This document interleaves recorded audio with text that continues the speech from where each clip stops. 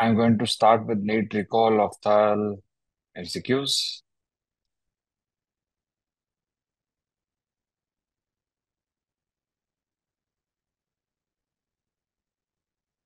So the question that was there was patient presents with the following fields. This field picture was shown.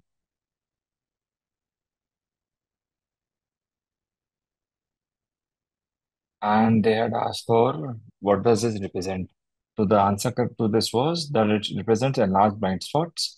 ठीक है altitudinal field defect नहीं है this is not arcuate field defects this is not Ronde's field defect also so this was the enlarged blind spots okay moving on to the next question question number two Horner syndrome involves which muscle that was the correct answer here was Bullard's muscle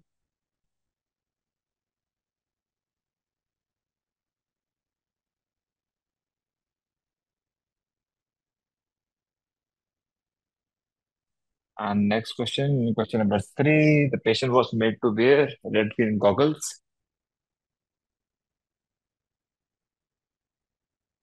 And इसमें right eye suppression was shown. Okay, this was the image which was shown. Okay, where the patient was seeing three green lights.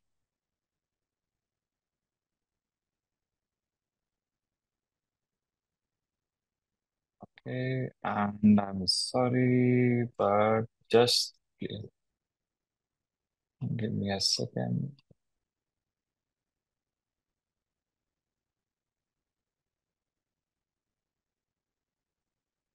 Okay, this was the image for right eye suppression. Okay, moving next question, question number four, thyroid disease. Which amongst the following is false? Yes, ma'am, the choices are improved on treatment of thyroid status. Vision loss may be seen in some cases. 10% may be euthyroid representation and no spec classification is used. The correct answer here was improves on thyroid status. This is false. Okay, I've repeatedly told that it is an antigen antibody reaction. Okay, so uh, that I've repeatedly told in my lectures. Key antigen antibody reaction will represent only after the steroid use. Okay, it has no relation with the thyroid patient. Okay.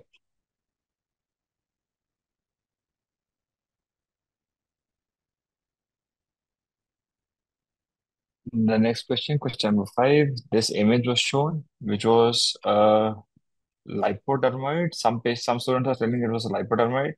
Some students are telling it was a dermolipoma, uh, limbal dermoid. Okay. So uh, this is a confusion there. I think it was a limbal dermoid which was shown to you. So the image which was shown in the right, this is the limbal dermoid, and this is the dermolipoma. Okay. Next question, question number six. In history of nyctalopia was given, and they had asked the they had given the image like this, and the correct answer for this was retinitis pigmentosa. Okay. And next question, question number seven. A patient presented after cataract surgery five years with decrease in vision, and this kind of image was shown. This image is depicting characteristically Elschnig's pearls.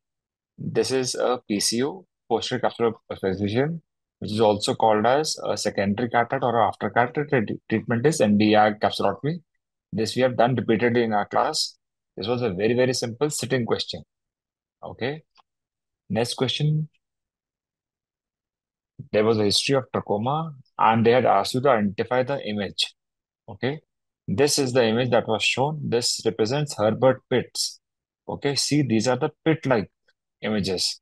So these are the pits that have been shown. Horner Tranta spots are elevated spots like this. So do not get confused. I've repeatedly shown these two images. Both have been discussed in the class. So this was Herbert pits. Okay. Question number nine. A two-month-old baby presents with following image. What is the best treatment possible? They had given an image of a child with cataract in both eyes. Repeatedly, I told that immediate surgery is the best treatment because if you do not treat, there is always a chance of amblyopia setting in.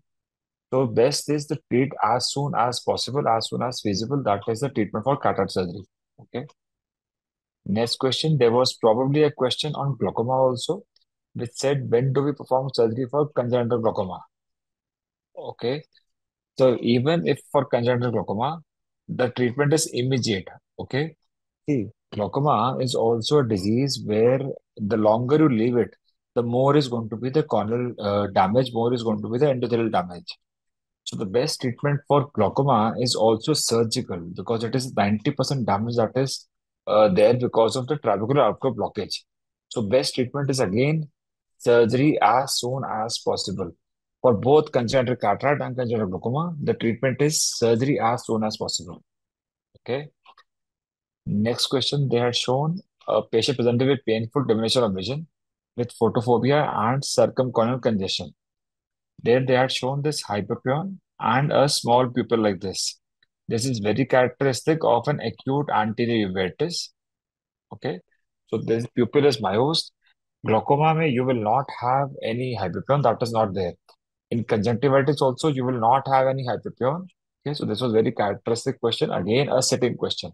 I believe the questions have been very, very simple and uh, straightforward. Just application of some uh, mind was required. Now, next question: A child with an intraocular mass with leukocoria. This Flexner-Wintersteiner rosettes on cytopathology.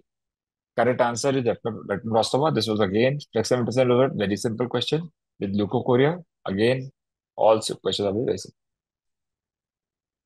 Now, they had shown this image where they had shown a nodule with a episcleritis. Okay. This is episcleritis associated with rheumatoid arthritis. This was again a question which was very simple, and this had been asked in your previous year questions also, where they're asked about blanching of images, blanching of the vessels. So this is what the episcleritis is we have done in our class. Okay. Next was a patient presented with history of episode of pain after going to movie theater. What treatment option is best? So after movie theater, the attack that precipitates is a acute angle closing glaucoma attack. For the treatment of acute angle closing glaucoma, we have done that you have to give mannitol first, followed by the topical therapy in pilocarpine. Okay, this is because until unless you give mannitol, the IOP will not come down, and there is going to be a receptor level ischemia. Okay, so the correct answer is mannitol followed by pilocarpine. Now, there was some question, medicine question, where they had shown an image of the KF ring. Dr. Dilip sir will be taking this question most probably. But this KF ring, the serum ceruloplasmin levels are to be checked. So this was the question which was overlap between medicine and ophthal. So rest of the choices are not been able to catch up. I'll most probably make a proper video later on. Now, just now I came to know there was a history of uh, question on contact lens user with using water to wash the contact lenses with spike-like organism. The correct answer was Acanthamoeba. Okay. And one final question which was there, a supraseminal tube showing the MRI image in which the following visual field defect was shown. This is a field defect both on the same side. So this is the homonymous hemianopia. It is not a bitemporal. Bitemporal would have been opposites. One for on the right side, one for the left side. Since it is both on the same side, so this is a homonymous hemianopia. Okay. So these were the ophthal questions that I have been able to catch up till now. Okay. I hope you have been able to answer them well and you have done your best and soon meet you soon with the proper answers of the choices again.